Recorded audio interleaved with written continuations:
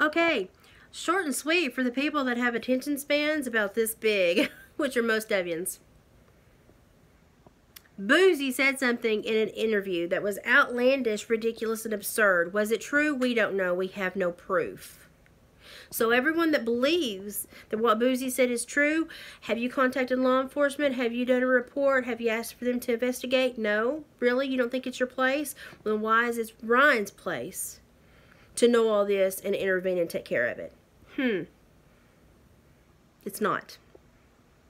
Also, just because Boozy said it, doesn't mean it's a confession it actually happened. It could just be him being a, just a complete giant turd. Trying to be the biggest man on the corner block. Because y'all know y'all say some stupid shit when you think you need to be the biggest man on the corner block. So have you all checked into it, found out where he lived, what time frame or year this potentially occurred, and have you contacted law enforcement to investigate it? No?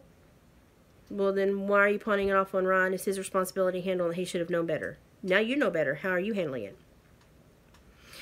And for everybody saying, he said it, you know what happened. No, that's not how this works. There was no investigation.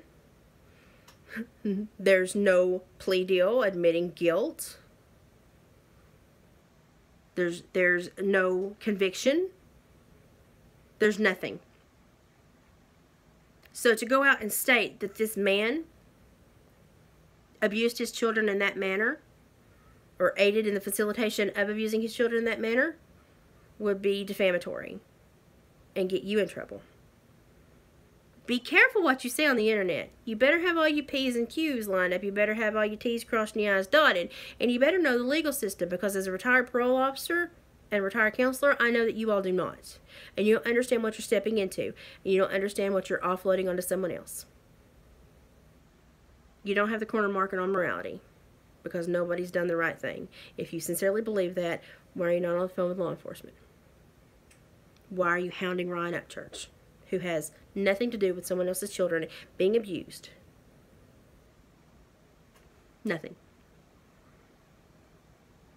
So are you going to do the right thing? You're going to contact law enforcement? You're going to say, hey, I found this out. I heard this. Go watch this. You need to investigate this man?